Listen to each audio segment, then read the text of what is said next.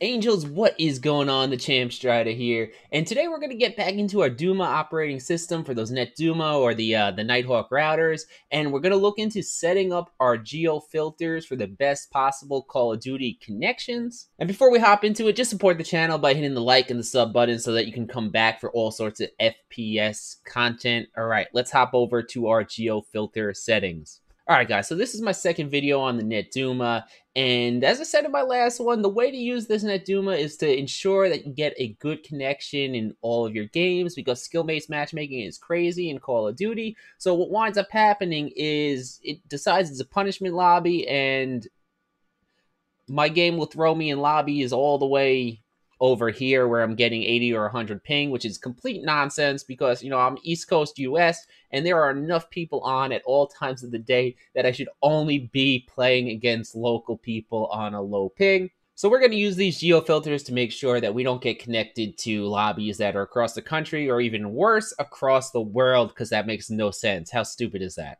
So I'll show you guys two or three different ways you can use these uh, these filters to get yourself a better experience, and you're gonna kind of have to pick and choose depending on where in the world you're located and where the servers are. So let's get to it. So even though I already have one set up, we're gonna go to the Add Device tab, and then you're going to click your actual PC, and then you're gonna click on the Call of Duty tab. The Call of Duty PC only tab does not work, so just do the Call of Duty tab. I'm actually gonna hit back since I already have that set up. And then you're going to have a little tab here with filtering mode. Red is on, white is off. We're going to leave it off for now. So if you look at your map, there should be a red circle of varying size. It'll probably start out something like this. All right, this is pretty huge, so you can connect to servers anywhere in this general range.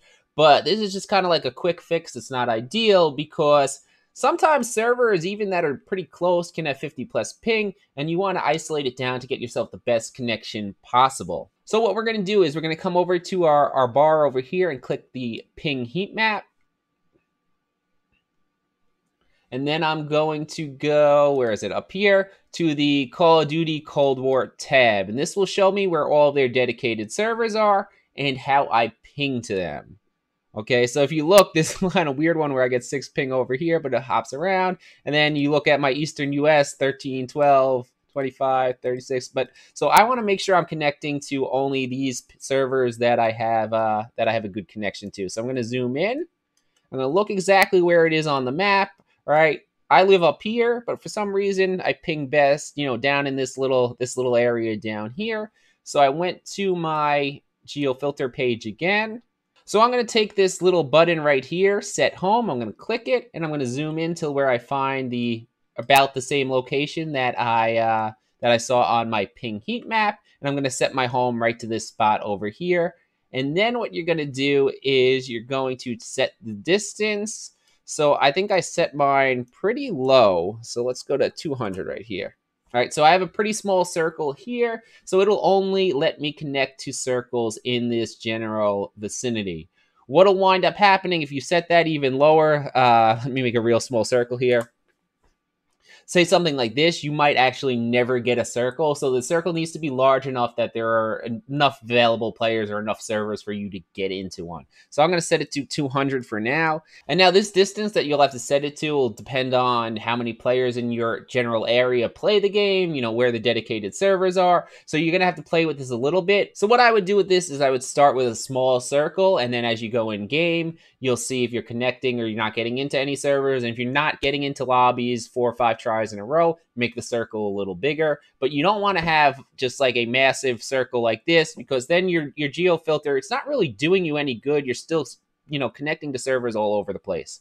So start with a small circle. And just notice I still have the filter turned off over here. Uh, you want to keep this off until you're logged into the main game lobby because what happens is a lot of times servers or the login servers are central US over here. So you see that's outside of my geo filter. So it might not let me onto the game. So after you're at the main menu, you can turn this to red and now your geo filters are actually working. Now, that's the kind of quick and easy way to do it. And for me in my location, there's no reason not to just go that way. But depending on where you are in the world, there are some different ways that you can do this. So let's kind of hop back over to our ping map and look at another way that we can add some geo filters. So let's say I wasn't getting enough matches and not enough players in my area, and I want to connect to two or more servers. Okay, so let's say I'm, I'm somewhere over here where there's maybe not a lot of players. This connection shit for me, but it might work for some people. So I want to connect to only, let's say, two of these.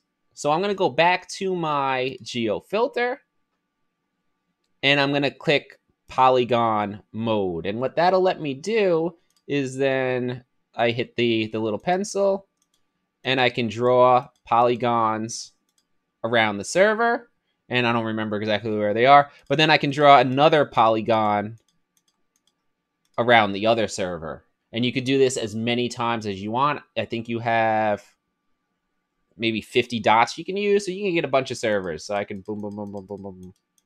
I could add even another server. All right. So if you're in an area where it's hard to get matches or it's not that populated, you can connect to a few different servers and you'll have a better chance of getting in games with a good connection. Now, another way to set this up, which you'll have to play with it a little bit, but you take your home button and you just throw it somewhere in the ocean.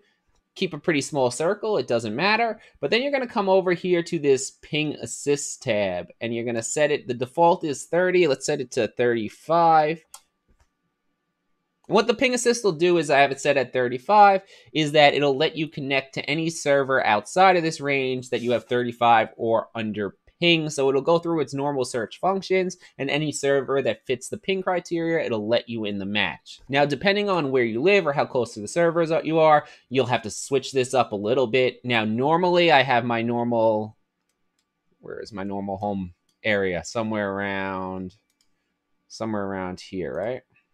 just put it there for now. So now normally I just leave this on at 20 because like say it just finds me random match and it has 20 or under ping, I'll take it, right? Because ping is everything. All right, Angels, that's it on how to set up the geo filters for the best possible Call of Duty experience. Again, we want to keep our ping below 40, right? Because it's just a much better experience, especially in Cold War. There's so much bullshittery with the skill-based matchmaking that it'll throw you across the world if you don't use the geo filters. So I'd rather play in sweat lobbies where I have a fighting chance at 25 ping. Again, before you guys go, if it's your first time here, become an angel and subscribe to the channel. I release FPS content every single week, and you don't want to miss it. Champ, out.